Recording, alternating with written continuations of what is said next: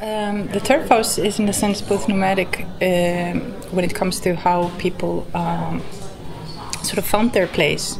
So there were no regularities in, in where you would settle down. You would sort of go by the wind and the and the and the, and the country and thrust your your end, if you will, into the into the flesh of the ground and just like take the swamps and, and, and make them as a as a shelter. But it's also um, very nomadic through time because it always has to be maintained. And if, for example, because of a volcanic eruption or something, uh, the winds, prevailing winds changed or the weather changed, then people actually sort of move their houses a little bit according to that. And also by the fact that if, I mean, we had really bad periods and then better periods. And in bad periods, you would almost like with nomadic tents just, you know, let some of the rooms uh, deter. And then in better times, you would build uh, new buildings. So, in a sense, it's not only spatially nomadic, but it also becomes very temporally nomadic. And um, I think that's one of the um, one of the sort of main things that, that we take with us as a as a cultural heritage, and is in a sense also presented in in modern buildings, if you will, especially out in the country in the rural sort of setting that people will sort of you know always add on to or lay down and uh, be really open to to change but also to the fact that we after we stopped building the turf houses it was a shameful heritage after we got our uh, sovereignty in the middle of the 20th century. But still people would build i mean because we had very limited resources then if the co-op on the place had access to corrugated iron, then you would just buy corrugated iron and do whatever you could with that. Or there was driftwood, then you would just use the driftwood. So in a sense, there is this notion of always just using whatever material you could get, and be very reflective and very responsive to whatever conditions you would have around you. So in a sense, it's it's, it's sort of spatio-temporally uh, nomadic, if you will. Mm-hmm. And. Um when we became sovereign, then we sort of really wanted to be like like the big nations around us and, and built in modernist uh, sort of fashion.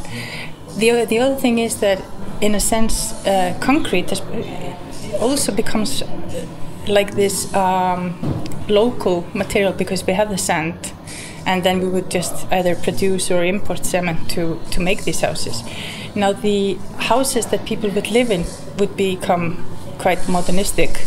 And you would almost have like there was this architectural agency of the agricultural ministry that would just like make steps so they all look the same. But the turf houses became more like uh, houses for the animals. So they sort of deterred and became you know where people kept the animals during the winter time and things like that. But i think that uh, still we have this tradition of add-ons and we have uh, in a sense the, the concrete has almost taken on the the role of the turf as this malleable because I mean we're such a small market that all the houses are uh, casted at place in place.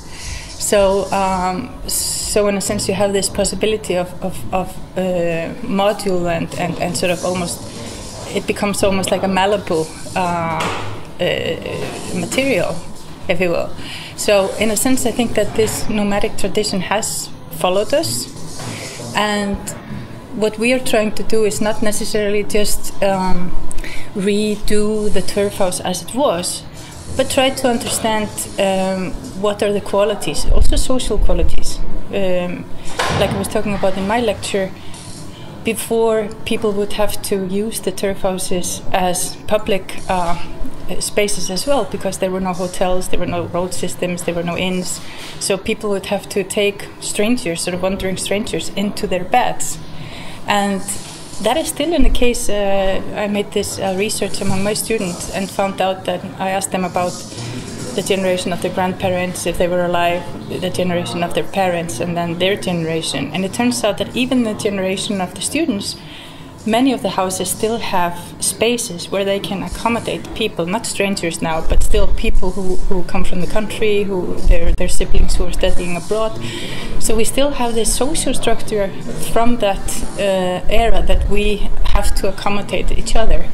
So there are elements like this that we are also trying to learn from the turf house. I mean, both the multi-species. Um, sort of communion that we share with the with the turf house as being just one of the of a large chain of, of animals and and uh, sort of critters that live there, but also in a sense how the community is still shaping the way we live. So the commons is is very relevant still in the Icelandic context. Even the interesting thing, for example, in the parents' generation, people would say that maybe houses of 200 square meters, even though all the children were, you know, going away, because our social structures in a, is in a sense um, it's not unusual for people back home to have many. Um, uh, marriages or, or, relationships. So you have maybe one child from the first relationship and two in the second, and then you get divorced. So the generation of the parents actually sit in huge uh, buildings, only two of them, to be able to take their children and grandchildren home, you know, between uh, between homes, if you will. So so like I said, I mean, it's it's it is still a multi generational. Um, at least there is this heritage that, that people still accommodate for, even though they. I'm not sure whether they would sort of uh, recognize it themselves, but it's so bound in the heritage of how we have to live together. But also, I mean, 200,000 or no, sorry, 350,000 people on 100,000 square meters. It's huge. So with the distances and everything, that's I mean, that's just a necessary thing.